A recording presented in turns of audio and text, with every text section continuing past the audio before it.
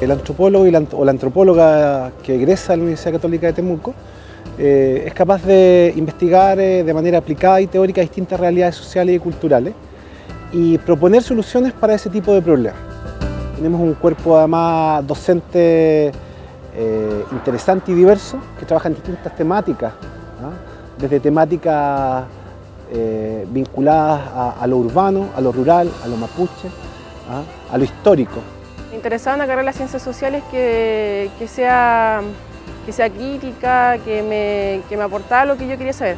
A pesar de que yo en principio no sabía muy bien de qué se trataba, pero con el tiempo eh, me fue aportando eh, nuevas visiones, nuevas perspectivas de la situación que pasa a nivel regional y a nivel país.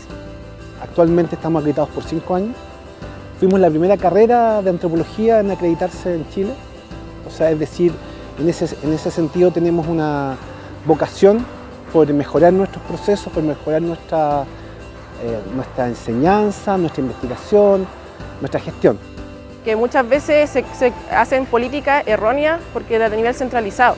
Ah, entonces acá nosotros vemos la realidad desde cerca y podemos estudiarla, analizarla para proponer eh, soluciones. Más que pruebas tenemos muchos trabajos grupales en los cuales tenemos que obviamente salir de la universidad, contactar con gente, unir, eh, eh, trabajar con grupos de afuera, hacer todo un trabajo desde la metodología que nos enseñan acá. Les abre el mundo y puede significar también un, choque con el propio mundo que uno trae, pero esa es la gracia que tiene la antropología, es preguntarse no solo sobre los otros, sino que también sobre la propia realidad y la propia historia que uno tiene. Yo diría que en ese sentido es una disciplina desafiante y y es un pero es un desafío bonito, y es un desafío yo diría que al cual yo los invitaría eh, de todas maneras.